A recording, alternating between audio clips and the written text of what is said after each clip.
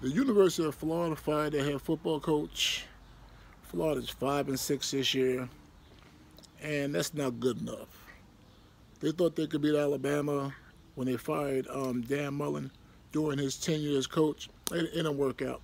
They two and one in bowl games, and it just didn't work out. Now Florida's going to end up paying Dan Mullen to leave on the $12 million buyout.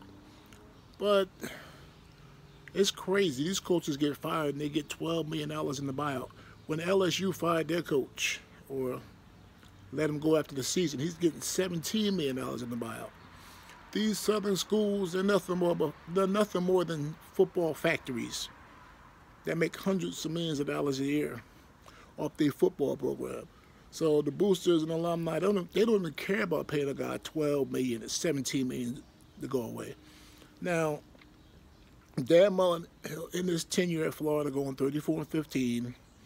This year they're five and six, a disappointing five and six, especially after starting three and one. And they're probably gonna go after Lane Kiffin. I hope they don't go after another guy that grew up in Fort Myers, Florida. I just hope they don't go after that guy.